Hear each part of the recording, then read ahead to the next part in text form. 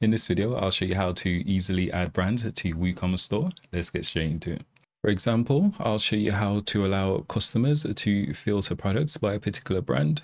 So for example, we can filter our products here we can also create a brand directory so customers can quickly find all products in various different categories by their favorite brand. On a product page as well, we can also make customers aware of the particular brand. So here you can see this is Nike and it will also add a brand tab here in this additional tab section. We can add a short description for the brand and also a brand logo as well. So if you want to create a similar setup on your WooCommerce store, I'll leave a link in the description below to the plugins that we'll be using using. And if you're interested in creating this brand section without any plugin or with just using custom taxonomy, I'll leave a link on screen to that particular video.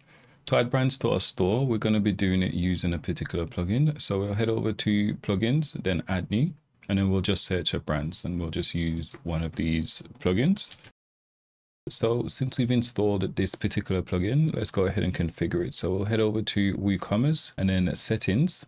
And then here we've got this brands tab, okay? So we can customize the brand slug. So by default, it's at brand. And then here we get to choose the brand logo size. So it's a thumbnail format. And then here we can also choose a brand's page as well. So to do this, we need to actually create a page and then just name it brand, right? So we just click add new and then page and we'll say brands and then just publish. So later on in this video, I'll show you where to get the short code from to add. Later on in the video, I'll show you where to get the short code from so you can sort the brands um, in alphabetical orders and in a few different ways. All right, so let's head back over to our dashboard here. Let's refresh this page. Since we've just created that brand page, we can actually assign it here. Okay, so we'll say brands and then let's hit save changes. Okay, so we'll just click on documentation so we can get our short codes for later on. But the first thing you'll notice is when you go to products, we've now got this brand taxonomy, okay? So we can go ahead and click on this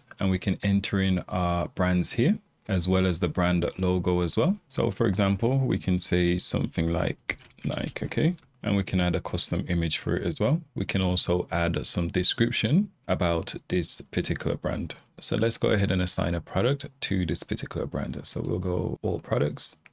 And for this particular product here, we'll click edit and then on the right hand side, we will see that brand's custom taxonomy. And here it says Nike, because that's the only one we've added. We can add more brands here as well. So we could say Apple, for example. Okay, and then we can just update this particular product. Okay, so let's view our product page.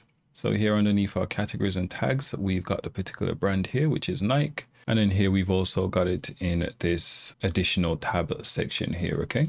All right, so let's head over to our shop page. Okay, and since we're organizing our products by brands, it makes sense to also allow customers to filter products by brands as well. So to do so, we'll click on customize and we'll go widgets and then sidebar. Okay, then we'll just search for brands. And then here we can show it as a drop down. We can show it in a list, or we can allow customers to filter by a brand as well. So it's totally up to you. Let's go ahead and allow customers to filter by a particular brand. Let's hit publish. I should note that if you want to add more advanced filtering to your WooCommerce store, I'll leave a link on screen to a video which shows you how to create an advanced filtering option for free. We've added our brand filter in here. Let's go ahead and test this out.